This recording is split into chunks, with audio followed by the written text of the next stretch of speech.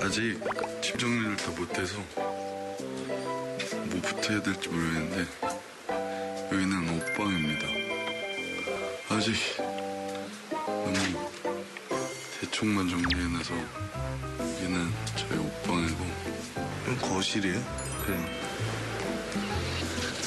이게 제가 귀엽지.